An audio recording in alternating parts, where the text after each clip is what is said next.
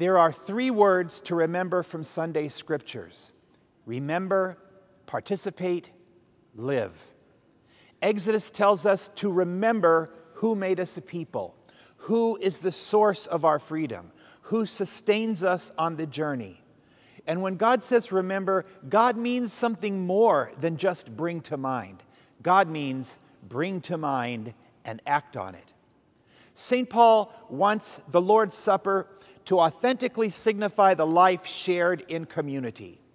Paul wants the church to participate in the loaf and the cup by our unity lived in equality every moment of our lives.